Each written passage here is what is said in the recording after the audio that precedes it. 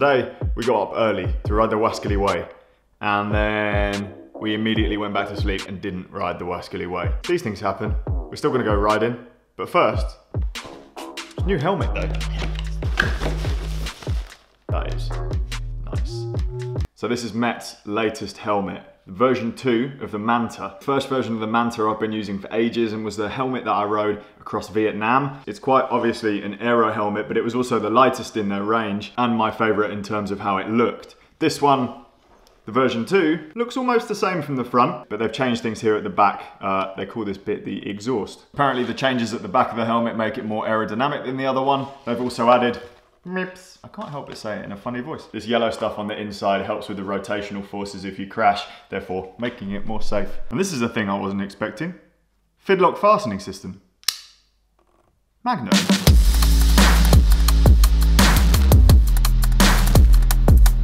Very kind of Met to also send through a white Rivale. So this is the same as what I've been riding this winter, just in white. So if we get any really hot days, up in Newcastle, I can wear this. Got new helmets and you're wearing your old one. I'm not quite feeling the white yet, You got to like build up to it. but I am going to wear this. Oh. So I'm obviously feeling a bit brave. Actually, I'm just going to wear this. Full triathlon. No rules, just ride. Could go swimming today, it's quite warm. Love to go swimming. I'm part of the Attacus Pink Jersey squad now. Did you know, Daisy? Today, County Durham is the hottest place in the UK. Yeah, I know. Where are we going? really hot in here. It's so warm. It's too hot. North is too uh, hot. Where are we going? We're doing a route that Emily showed me. They used to do it like every day after work, or most days after work. But it goes, it's like a little triangle of gravel. Here's hoping we might get a little hand tan.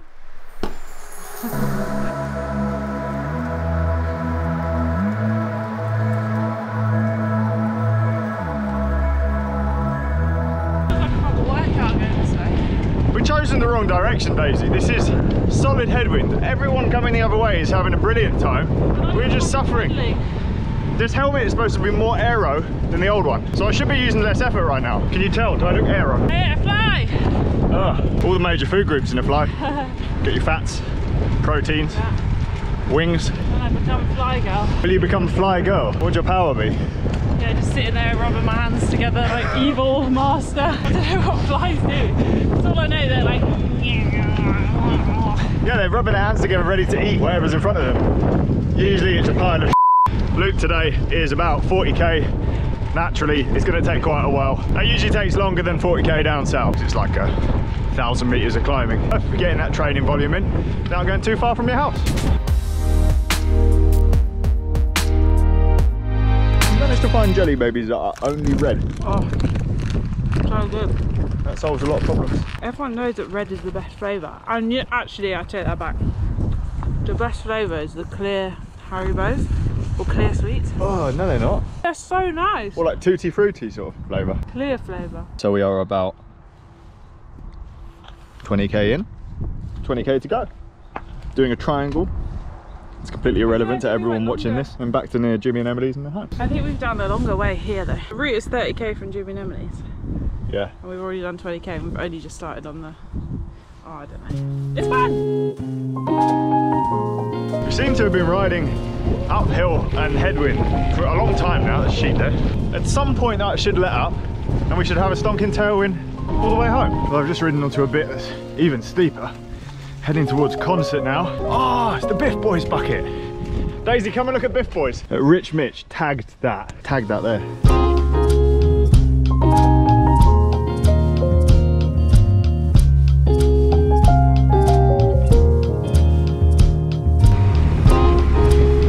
Sort out that helmet strap. Look like Lawrence. Today's ride has been the perfect ride to offset yesterday's complete smash. I was saying in yesterday's episode I uh, substituted a turbo session which I've been trying to miss out because it would be so miserable indoors. The intervals that I had scheduled were flying dies so go as hard as you can and then slowly fade off when you just can't do the power anymore. Instead of doing those, I just headed out with Nick and smashed it up every single little hill, which was quite a lot of hills. Hard day out, especially on a mountain bike when your mate's riding a gravel bike. It was good to get some time actually pushing power down through the pedals on a mountain bike. There's a lot of what I've been doing has been trails, so I've been concentrating so much on the technical stuff, not really putting in any specific effort. So, so it's good to do bits like that once in a while. Almost home now, warmed up even more. No, I thought I'd be northern and wear shorts today. Perfect ride out. Did a little race, Daisy beat me home. I have found one other thing that this helmet does that my old one didn't. My new favourite helmet. Your face is the same colour as your jersey. I was kind of hoping that the more fit I get, the less I would look like a tomato after I finish a ride, but it just, just doesn't happen. It never gets easier, you just go faster. Definitely fast enough because I dropped you. Yep, you did. Does anyone else have this problem where you do an online food order and then you just I'm not used to figuring out like if what I'm buying is really tiny. So we've ended up buying tiny red. And then they've substituted us organic bananas, but I didn't realise organic bananas are tiny. Like what is that? You'd have to have about six to have one. Is that that thing you see on Facebook where people buy like a yoga mat on eBay and then they show it when it arrives and it's like this big? Don't fucking come near my puzzle, mate.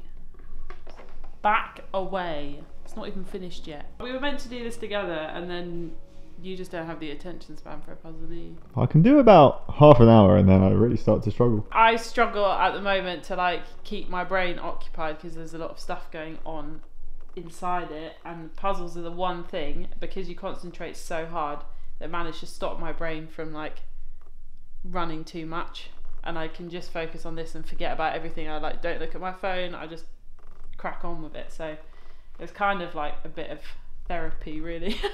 It is therapeutic. I sometimes I'm sat here and then I see the kids playing outside and stuff, and I'm just like, they must be like, what a lame person. Flesh coloured pieces. Where's your flesh coloured pieces?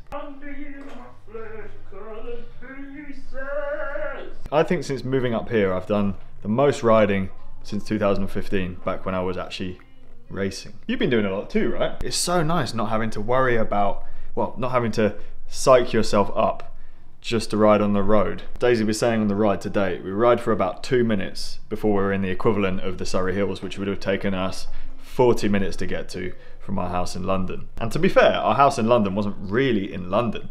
It was so far out that it would take you an hour to ride into the centre anyway. It's just so nice and enabling up here.